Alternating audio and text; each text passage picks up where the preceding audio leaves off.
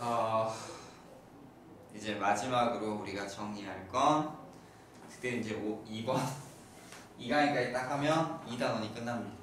여러분이 기다리고 기다리고 여러분의 마음을 설레게 하는 평가가 또 다가오고 있네요. 기쁘죠? 어, 마음이 설레지 않습니까? 아, 전혀 아닙니까? 안타까운데 그렇군요. 뭐 아무튼 여러분의 기다리고 기다리는 평가가 이제 곧 다가와요. 준비 잘 하시고 뭐 오늘 내용까지 잘 정리하면 충분히 어렵지 않을 거예요. 1단원에 비해서 물론 2단원이 약간 양이 좀 많긴 하지만 또 이제 3, 4에 비하면 또 이렇게 또 많은 내용은 아니라서 잘 하실 수 있을 거라 생각이 듭니다.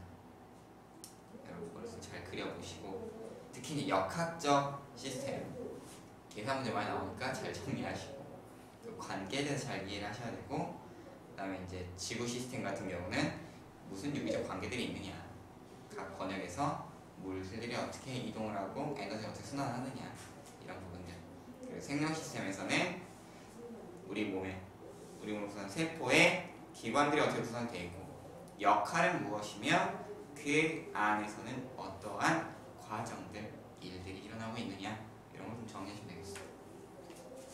그래서 우리가 이제 생명 파트의 꽃 생명 파트의 꽃 제목이 뭐예요? 유전자와 단백질입니다.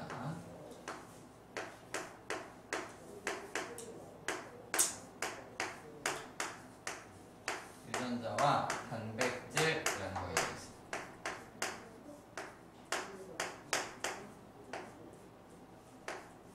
최종적으로 한번 정리를 해볼 수 있도록 할게요.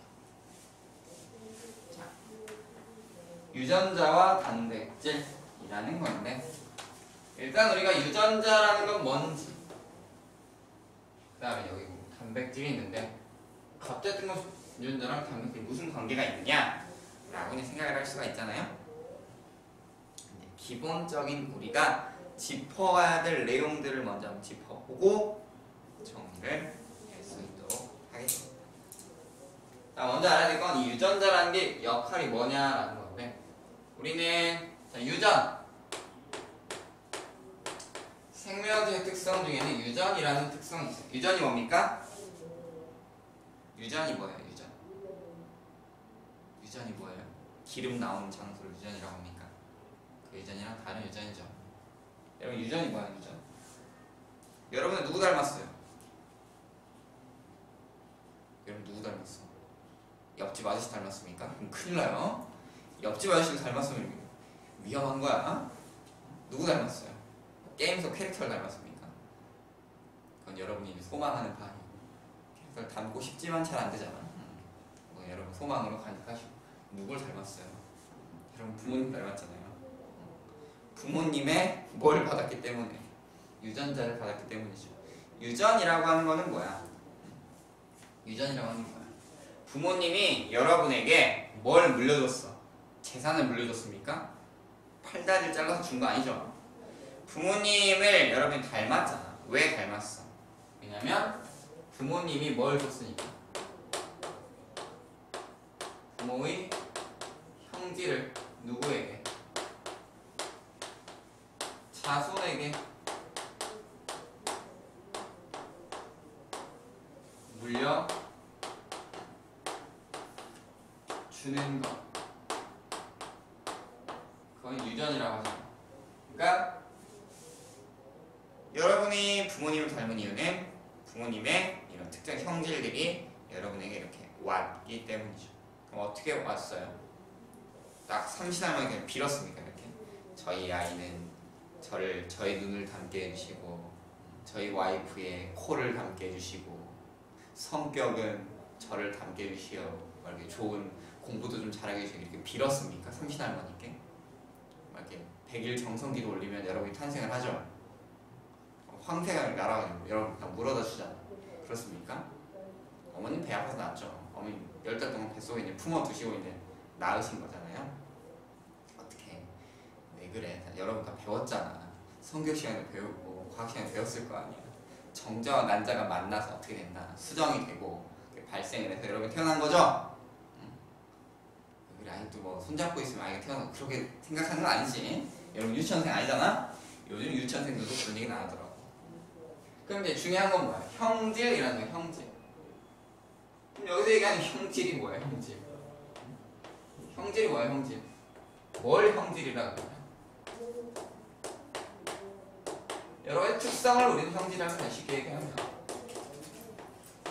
여러분 머리 색깔 무슨 색이에요? 검은색이잖아 눈 몇 개 달려있어요? 두 개 달려있죠? 콧구멍 몇 개야? 두 개잖아 팔다리 두 짝씩 달려있고 손가락 발가락 각 다섯 개씩 붙어있죠? 이러한 것들을 다 형질이라고 합니다 특성 근데 이러한 유전적 형질들이 어디에 저 정보가 들어있어? 유전 정보는 어디? 여러분의 유전자에 이러한 형질들이 여러분 특성들이 들어있게 되는. 이 유전자는 어디에 들어있습니까? 어디에 들어있어요? 유전 물질인 핵산에 유전 물질인 핵산에 들어있습니다. 그 핵산 중에서도 뭐 유전자를 저장하는 DNA 뭘 한다? 유전 정보를 저장을 하죠. 배웠잖아요. DNA는 기본 단위체가 뭐였어? 뉴클레오타이드라는 걸로 되어 있었습니다. 인산, 단, 염기가 결합한 형태로 있었는데 자, 이 DNA를 살펴본다면 이렇게 이중 나선 구조로 되어 있었죠. 이중 나선 구조로 되어 있었고 그다음 그 사이사이에 뭐가 염기들의 서열이 있었더라라고 이야기했어요. 염기들의 서열이 이렇게 있었더라라고 이야기를 했습니다. 기억나죠? 기억나셔야 합니다. 아? 기억나셔야 돼요. 근데 만약에 아, 씨. 그래도 어떻게 한 번 듣고 다 기억을 하겠습니까? 내가 마음을 또 다시 고쳐 먹었어요. 마음을 고쳐 먹고 다시 한번 간단히 정리해 봅시다. 내가 너무 경솔했네. 나는 경솔했네. 여러분이 한 번 듣고 이해한다고 생각하면 안 되는데 미안합니다. 자, DNA 기본 단위체는 뭐예요? 기본 단위체 뭐야? 뉴클레오타이드죠, 뉴클레오타이드.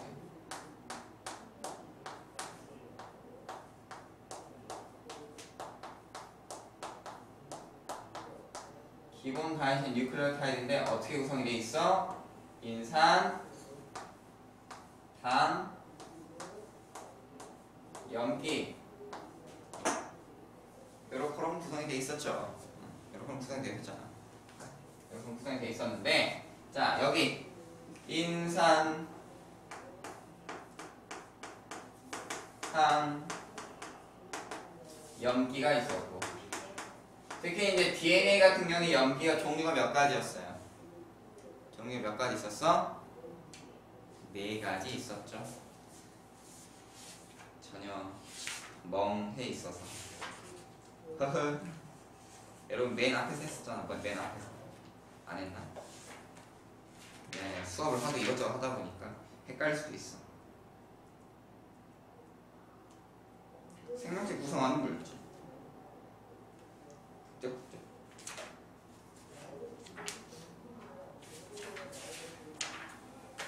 에이, 했네. 63페이지에 있네. 했었네. 난 또 여러분이 대답 안 하길 안한 줄 알았잖아. 63페이지에 했잖아요. 왜 이래 나한테? 악감정 있어요? 그런 거 아니죠? 그냥 단지 기억이 안날 뿐인 거지. 인상, 돼 있고 이 염기가 몇 종의 염기로 되어 있더라? A, T, C, G라고 하는 DNA는 이렇게 네 가지 염기로 되어 있었죠. 뭐 당은 디오실리보스당 있었다. 그래서 자 여기 인산과 당까지는 뭘 이루고 여기는 외부 골격 이 흰색으로 된 외부 골격을 이루고 있었고 그 다음 여기 염기는 뭘 이루고 있었다? 여기는 유전 정보를 가지고 있었다라고 했어요. 그랬죠? 이야기를 했어요. 그래서 이렇게 DNA가 구성이 되더라. 이렇게 DNA가 있을 때 요 자식이 DNA잖아. 그 중에서 특정 DNA의 서열 이, 이만큼을 뭐 유전자 1 여기부터 이 부분까지를 뭐 유전자 2 이런 식으로 DNA의 특정 염기 서열의 일부를 우리는 뭐라고 한다. 그걸 유전자라고 하더라라고 했습니다. 유전자라고 하더라. 이건 중학교 때도 한 내용이니까 다시 한번 떠올려 보시면 될 것 같아요. 음? 이랬는데 이러한 DNA가 어떻게 돼 있어? 뭉쳐서 실 형태로 이렇게 뭉쳐 있다라고 했습니다. 그리고 실 형태로 뭉쳐 있는데 여기에 뭐가 껴? 단백질 덩어리들이 낀다 그랬어. 한 8개 정도.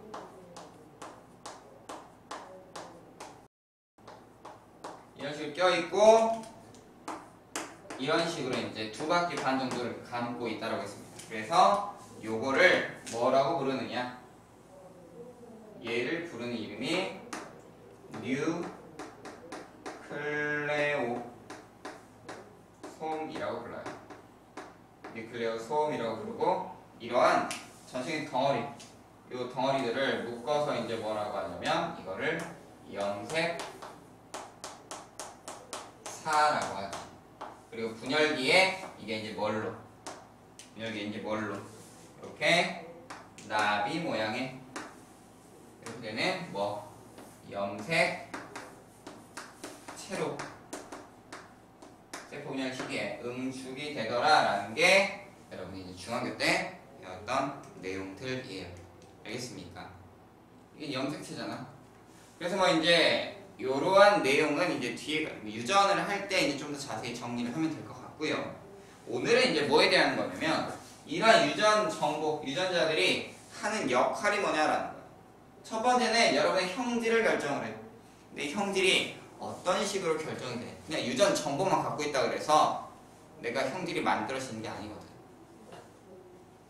여러분 이렇게 그 건축 도면 있잖아. 설계도 있다 그래서 집이 뚝딱 만들어집니까? 설계도 있으면 집이 이렇게 뚝딱 나오죠. 이렇게. 설계도 딱 펼쳐두고 집 나와라 하면 집 빵 이렇게 나오지. 그런가요? 나 그런 거 있으면 참 좋겠는데 아시겠죠? 그런 게 없잖아. 응? 연금술도 아니고. 내가 애니메이션을 좋아해서 강철의 연금술사가 가끔 본단 말이야. 펼쳐놓고 연금술 빵 쓰면 집병 이렇게 나오고. 그랬으면 참 좋겠는데 세상은 호락호락하지 않아요. 설계도 있으면 그거대로 이제 뭐 해야 돼? 뚝딱뚝딱 집을 만들어야 집이 생기겠죠. 마찬가지입니다. 유전자 있다 그래서 바로 이게 형질이 나오는 게 아니에요. 유전 정보가 있으면 그거 가지고 이제 뭐 하는 거야? 자, 이 인간은 검은 눈동자 유전자를 가지고 있으면 검은 눈동자 만들어. 뚝딱뚝딱 만들어. 그래서 검은, 검은 눈동자 짠 이렇게 나오고 머리카락이 검은색이네. 검은색 머리카락 짠 이렇게 나오는 거지. 설계도를 봤더니 어, 손가락이 여섯 개야? 희한한데 손가락이 여섯 개빵 만들어. 손이 여섯 개. 손가락 팍. 막 이런 거죠. 이렇게 거. 그러한 정보를 유전자가 가지고 있다. 근데 어떻게 만들어 내는 거냐라는 건데 어떻게 만들어 내는 거냐?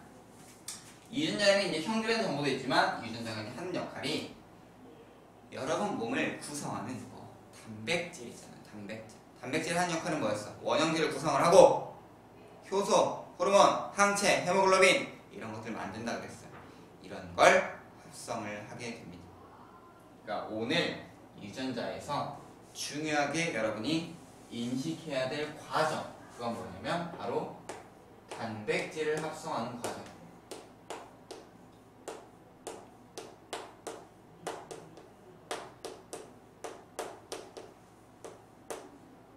왜냐면 여기 있는 이 DNA에 의해서 DNA 속에 들어있는 유전자에 의해서 여러분 몸에 필요한 여러 가지 단백질을 기초로 하는 물질들이 만들어지기 때문입니다. 알겠습니까? 그렇게 보시면 되겠다. 그럼 여러분의 유전 정보 있죠, 유전 정보.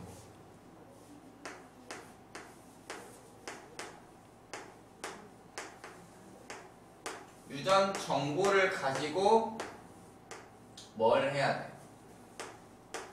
유전 정보를 가지고 뭘 해야 돼? 단백질을 합성을 해야 돼. 단백질을 합성해야 하더라라는 거예요. 그러면 그냥 뚝딱뚝딱 하고 그냥 유전 정보에서 바로 단백질이 만들어지는 게 아니라 여러분이 이제 이러한 상황을 하나 생각을 해야 돼요.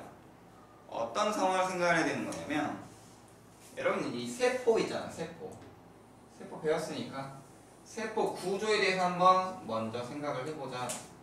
세포 안에 일단 뭐가 있죠? 핵이 들어있죠. 핵 속에는 유전물질이 있었고 그 다음에 여기에 대해서 이제 소포체라고 하는 부분들이 있었고 여기 보면 이제 뭐가 있어? 주름진 골지체라는 게 존재했었습니다. 그리고 이 소포체에는 동글동글한 이런 리보솜들이 붙어 있는 부분이 있었다라고 여러분이 기억을 하실 거예요. 요 포인트에서 여러분 찾아줘야 되는 게 있어. 자, 핵 속에는 뭐가 들어있어요? 핵 속에는 뭐가 들어있어? DNA가 들어있습니다. DNA가 들어있어. 이 DNA는 하는 역할이 뭐야? 유전 정보를 저장해.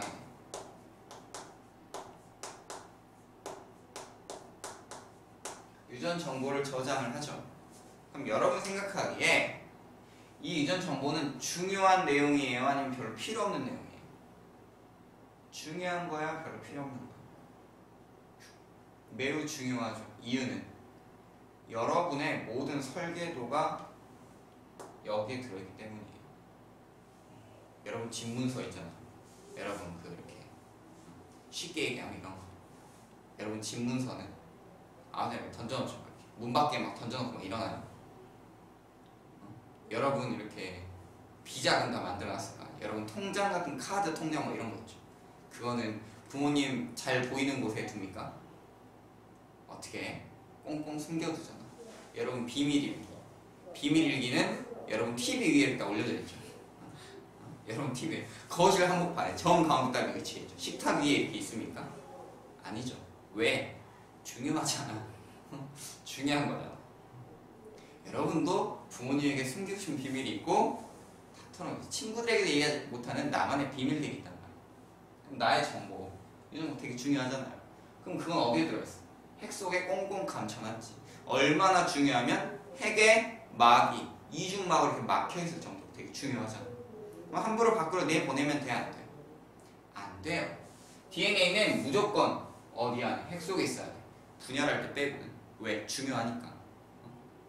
함부로 손대지도 못합니다. 근데 이 유전 정보를 가지고 단백질 합성을 해야 돼. 근데 단백질을 어디서 합성을 하냐면 밖에서 합성을 해야 돼요. 단백질 합성하는 곳은 어디냐면 여기는 리보솜이거든. 그러면 얘를 가지고 나갈 수 있어 없어? 없지. 그렇다고 리보솜이 안으로 들어갈까? 그것도 안 돼. 그럼 어떤 방법이 있을까요? 얘를 들고 나갈 수가 없고 얘도 들어갈 수 없으면 어떻게 하면 되겠어? 어떻게 하면 되겠어요? 여러분 중요 자료는 어떻게 해? 도서관 가서 내가 되게 중요한 책을 하나 읽고 싶어 있다가 시간이 없어서 내가 매일 도서, 도서 관 출근해가지고 책을 읽어야 됩니까? 중요 자료 같은 경우 뭘 요청할 수 있어? 복사 좀 해주세요 라고 요청할 수 있잖아 뭘 만들 수 있어? 사본을 만들 수가 있습니다 마찬가지야 DNA도 뭐가 가능해? 사본을 뜰 수가 있어 그럼 어떻게 사본을 만들어내느냐 이거 혹시 기억해요? 이거 기억할지 모르겠는데 예를 들어서 이쪽이 A라고 쳐봐 여기가 T라고 쳐봐 그럼 반대쪽에 뭐 온다 그랬죠? A 대신에 A 반대편에 T가 오고 T, 대, T 앞에는 뭐 온다 그랬어? A 온다 그랬죠 여기가 C가 오면 이쪽은 뭐 온다? G 오고 이쪽이 G 오면 여기 뭐 온다? C 온다 무슨 결합을 한다 그랬어? 상보적 결합을 한다라 그랬어요 그래서 들어가서 이 DNA를 카피를 뜹니다 DNA를 카피를 거예요 그래서 어떻게 카피를 뜨냐면 이때 유전 정보를 카피 떠주는 게 누구냐? 여기서 유전 정보를 운반해주는 누구의 RNA가 등장합니다. RNA가 등장합니다. 이 RNA는 유전 정보를 뭐해? 유전 정보를 전달을 시켜주는 하죠. 이 RNA 조각이 이 안으로 들어가서 핵 속으로 들어가서 DNA는 유전 정보를 쫙 스캔을 떠가지고 복사, 카피, control C, control V 해다가 밖으로 이제 나오게 됩니다. 그래서 여기 이제 RNA에 이제 뭐가 있어? 유전 정보가 있잖아요. 그럼 이거 가지고 이제 뭐 하는 거냐면 이거 뭐 하는 거냐면 드디어 뭘 만들어? 단백질을 합성을 하는 거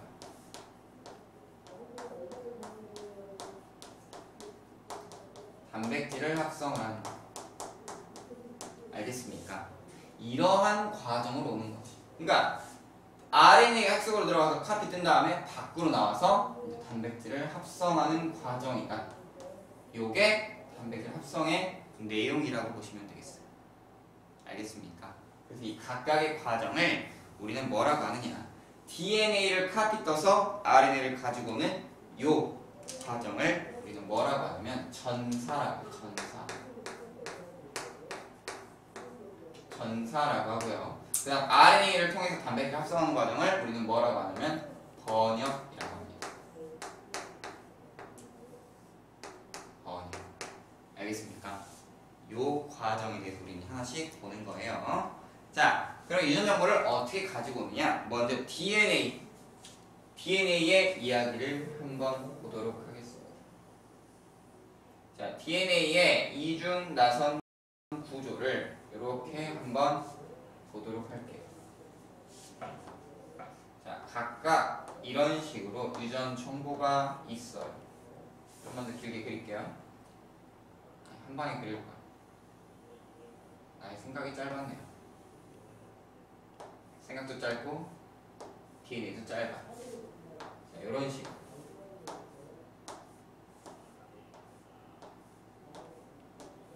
자, 이쪽이 더긴것 같다. 되는데. 자, 보면은 이게 DNA 이중 나선 구조예요. 여기가 DNA 1, 여기가 DNA 2 이렇게 됩니다. 이게 두 가지가 이제 꽈져서 DNA를 만들어내는 거야. 알겠죠? 이렇게 될 때 각각의 가닥에 염기 서열을 한번 보자면 여기는 A, 여기는 T, 어, 여기는 G, 그 다음에 C, C, G, A, C, T 이렇게 돼 있다고 칩시다. 그럼 아래쪽은 서열이 어떻게 될까요? 아래쪽은 서열이 어떻게 돼요? 여기는 T겠죠. 여기는 A. 저 멍 때리는 저 표정을 어찌할까? A는 누구랑 짝? T랑 짝이고 G는 C랑 짝이라고. 여기는 뭐야? 그렇지 C. 여기는 G. G, C, T, G, A. 이런 식으로 오게 돼요. 이게 DNA 가닥이. 핵 속에는 이렇게 정리가 되어 있는데 핵 속에 이렇게 정리가 되어 있는데 여기에 이제 누가 오냐면 RNA가 옵니다. RNA. RNA 하나가 와요.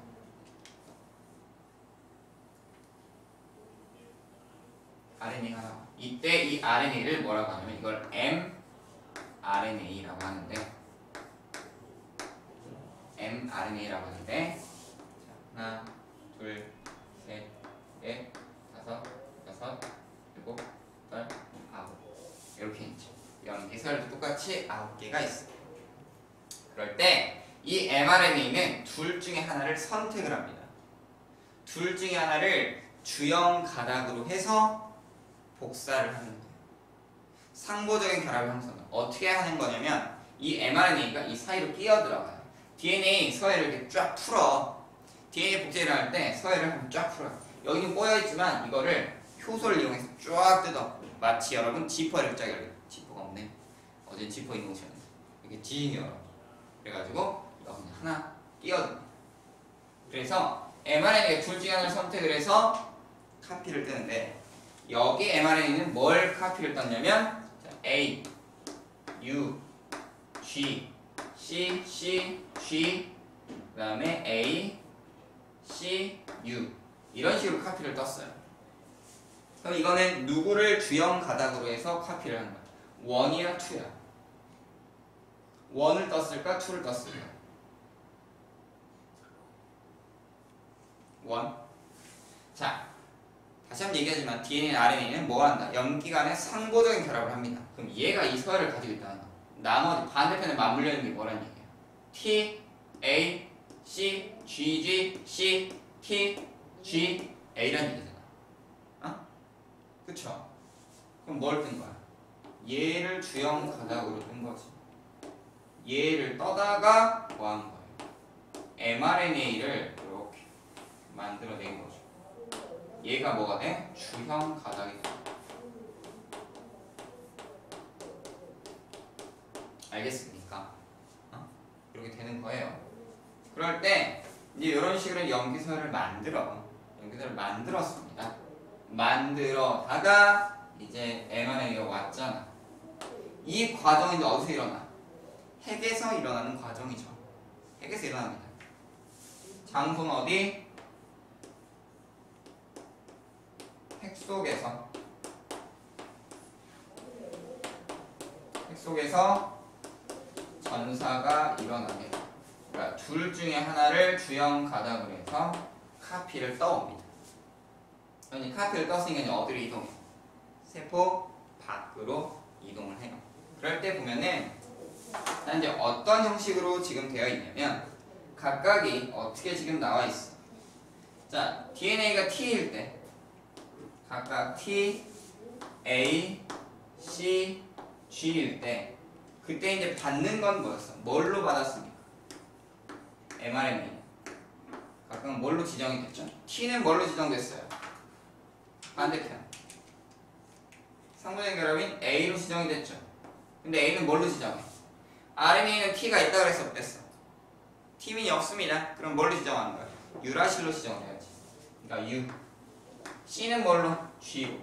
G는 C로. 이렇게 상보적 결합을 형성을 합니다. 음. 이런 식으로 결합을 하죠. mRNA가 이제 어디로? 핵 밖으로 나와요. 이제 어디로 오느냐? 요 옆으로 옵니다. 여기 이제 들어와요. 소부 채널로 들어오게 되면 여기 이제 뭐가 있어요? 리보솜들이 있잖아요. 리보솜들이 있어서 여기에서 이제 뭐가 일어나냐면 번역 과정. 유전 정보를 가지고 단백질을 합성하는 과정이 일어나요. 자, 그래서 어떻게 일어나느냐? 어, 대체로 리보솜은 좀 어떻게 생겼냐면 이렇게 눈사람 형태라고 보시면. 약간 이러한 눈사람 형태로 되어 있어요. 그때 여기로 이제 어떻게 되냐면 일로 이제 mRNA가 쓱 지나가요. 쓱 지나가. 요 방향으로 이제 쓱 지나가잖아요. 쓱 지나가면 여기서 이제 어떻게 하냐면 얘가 뭐예요? mRNA잖아. 이건 좀 이제 복잡한 과정이라서 여러분이 얘는 리보솜이에요. 쓱 지나가면서 이제 어떻게 되냐면 여기서 세 개씩 익익익 해가지고 이제 여기에 뭐가 붙어서 오냐면 얘가 뭐냐면 아미노산이야 아미노산 번역 과정의 전 과정을 다 설명을 해주는 거예요 그러니까 이제 여기서 이제 mRNA가 지나가면서 이렇게 세 개씩 이렇게 지정이 돼요 세 개 철학 세 개의 찰칵이 지나간단 말이야. 왜 세 개인지 이따 설명해 줄게요. 자, 여기 이제 세 개씩 여기에 상보적인 뭐가 RNA가 또 옵니다. 맞물려서 여기서 아미노산을 지정을 해요. 하나씩 붙여보는 거예요. 요렇게 생긴 요렇게 생긴 RNA가 몇 개가 있냐? 64개 정도가 있어요. 64개.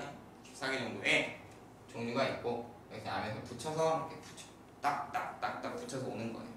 알겠습니까? 이러면서 아미노산이 찰칵 찰칵 찰칵 찰칵 붙어가지고 이런 식으로 계속 이어지죠. 붙이면 이제 그 다음 아미노산들이 계속 이어져 가는 찰칵 찰칵 찰칵 이런 식으로 이제 연결이 돼서 이게 이제 뭘로 아미노산들이 이제 단백질로 합성이 되는 과정이다라고 보시면 돼요.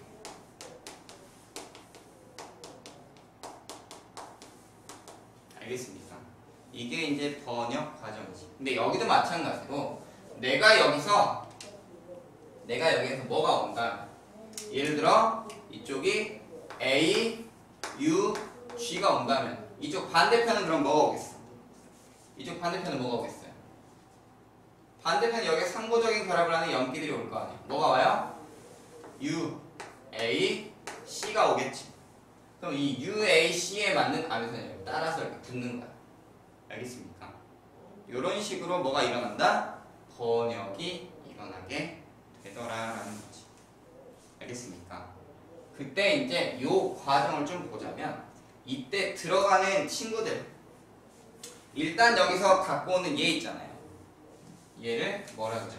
mRNA라 그래요. 메신저 RNA라고 하는 건데 얘는 뭘 해? DNA에 유전 정보를 뭐합니까? 전달을 시켜주는 그런 역할을 수행을 하죠. 그 다음에 두 번째 뭐가 있느냐? rRNA라는 게 있어요. RNA가 종류가 몇 가지 있어. 기본적인 것들만 소개를 해줄게요. 여기 얘는 리보솜을 구성합니다. 리보솜을 구성하는 게 rRNA예요. 알겠습니까? 그 다음에 여기 요 색깔로 된 거 있잖아요. 이거 이거 이거 이거 얘는 tRNA라고 하는데 transfer RNA라고 해가지고 얘는 뭘 하냐면 이 mRNA에 맞는 상보적 mRNA와 상보적 결합을 해서 뭘 하냐면 아미노산을 지정시켜주는 역할을 합니다. 그러니까 얘 이름이 tRNA예요. 그 다음 리보솜은 rRNA로 구성이 되어 있고 mRNA는 유전 정보를 가지고 거예요. 그래서 기본적으로 이렇게 세 가지 RNA, RNA들이 우리 몸에서 전사와 번역에 대한 역할을 해주더라라는 겁니다. 알겠습니까? 근데 염기, 서열 세 개당 아미노산이 하나가 지정이 되죠. 그럼 왜 하필 세 개냐라는 거지. 왜 하필 세 개일까? 그건 바로 아미노산 종류 때문에 그래요. 자, 아미노산은 종류가 몇 개예요? 아미노산은 종류가 몇 개가 있느냐? 20가지가 있어요. 20가지 정도의 우리 몸에는 아미노산이 지정이 됩니다. 이걸 가지고 단백질 합성을 하는데 자, 생각을 해봐요. 여러분 A, T, C U로 바꿀게. A, U, G 하면 몇 가지 정보를 담을 수 있어. 여기는 몇 가지 정보를 담을 수 있어요. 각각 A가 오면 뭐 붙고 U 오면 뭐 붙고 C 오면 뭐 붙고 G 오면 뭐 붙고 네 가지의 정보를 저장할 수가 있겠지. 무슨 말인지 알겠어? 두 개씩 있다면 염기가 두 개씩 지정이 된다면 얼마예요? 4에 4 각각 그러니까 AA, AU, AC, AG, UC, UG 뭐 이렇게 C, U 말 이렇게 붙으면 몇 가지 정보? 16가지의 정보를 담을 수가 있잖아요. 근데도 아미노 개수에 맞아 안 맞아? 맞지 않죠. 무슨 말인지 알겠어? 그러니까 몇 개씩? 세 개를 지정을 하는 거지. 이 염기서열 세 개로 정보를 저장을 한다면 몇 가지의 정보를 담을 수 있어? 총 64가지 정보를 담아낼 수가 있는 거예요. 그래서 우리가 유전 정보는 최소 단위가 몇 개? 3개부터 저장이 되는 거죠. 그래서 3개씩 끊어서 우리가 보게 되는 겁니다. 알겠나요? 그래서 3개잖아, 3개. 우리 3을 뭐라 그래? 3라고 하죠.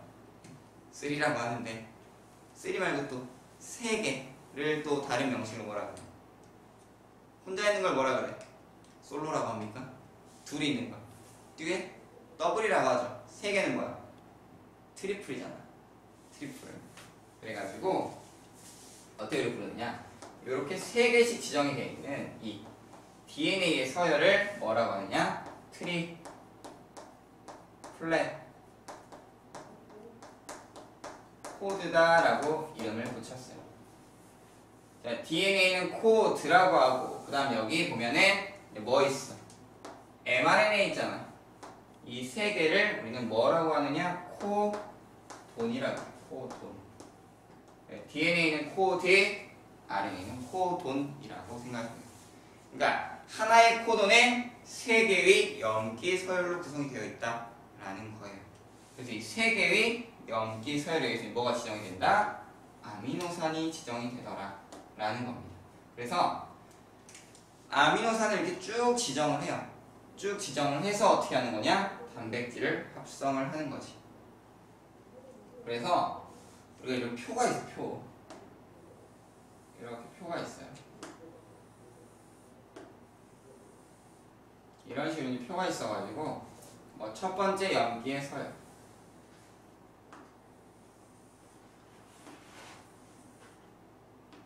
이런 식으로 쪼개서 여기 뭐 A, T, 아 A가 아니죠. U, C, G 이렇게 있고 그 다음 여기서 두 번째 염기 서열 그래서 이제 칸을 이렇게 나눕니다. 하나, 둘, 셋, 넷 해가지고 A, U, C, G.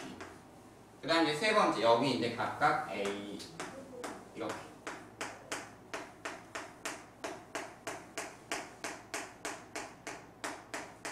이 표를 통해서 우리는 아 각각의 염기 서열이 어떤 아미노산을 지정을 하는지를 이제 알 수가 있는 거죠.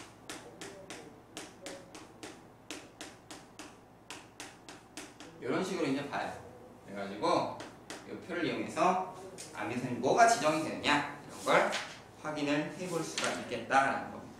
알겠습니까? 여기 책에는 안 나와 있어서 나중에 다른 책에 나온 거 참고를 해서 보시면 될 것 같고 여기까지 무슨 말인지 이해돼요?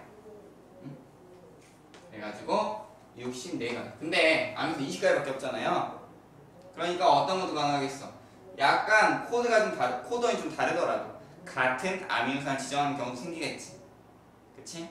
그래서 코돈의 종류에 따라 아미노산이 지정이 되고 그걸 가지고 단백질을 합성을 하더라 라는 거 그러니까 아미노산은 종류가 20가지예요. 하지만 단백질은 종류를 셀 수 있어 없어?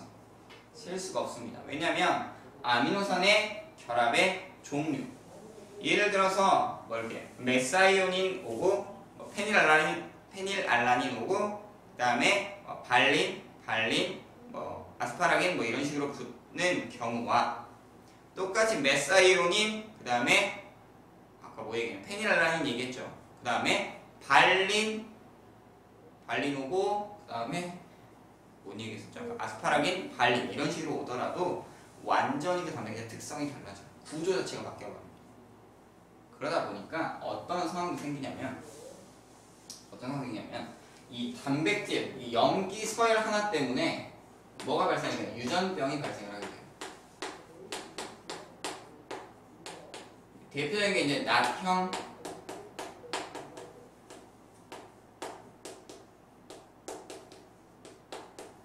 적혈구 빈혈증이라고 하는 게 있는데